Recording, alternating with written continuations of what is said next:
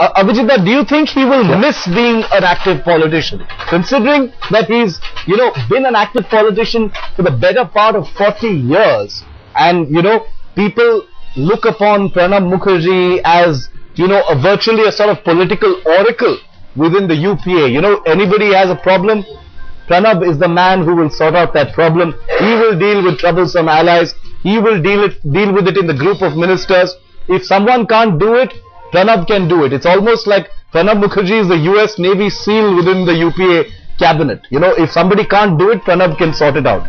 Do you think he will miss, you know, being that kind of person? Because as president, he will be far away from active troubleshooting in that sense. Well, one uh, one day one has to retire. So he served this party for almost more than 42 years. Hmm. Out of that, more than 22, 23 years in cabinet. He is a troubleshooter, not he has not become troubleshooter say in single day.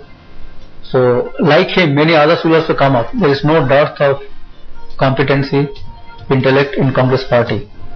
So somebody will take care of uh, take care of those uh, tr- trouble uh, those problems.